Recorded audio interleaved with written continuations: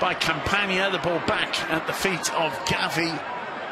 Gavi brilliantly gets away from Son and Radoja. Oh, wow. And what a fabulous, fabulous goal from Pedri.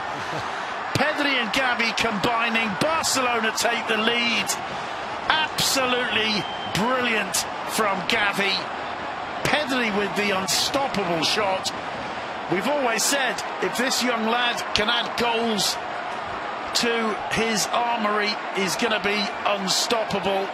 Gavi it is who's the assist giver. And Levante trying to play the ball out from the back, lose control. Barcelona through Gavi and Pedri pounce. And they've turned this one around. Levante 1, Barcelona 2. Well, the run from Gavi's perfect. The cutback to Pedri, and, and he just puts the ball where, you know, exactly where he scored against Sevilla. This is, you know, his angle. They were quiet you know, on uh, Thursday night against Eintracht. Both both started for Barca and were Yeah. replaced. And uh, tonight they come on and make such an impact. You know, Barca turn it around. Pedri, you said it. If he can score goals, I mean. Well, it's 2 in 2 now in La Liga.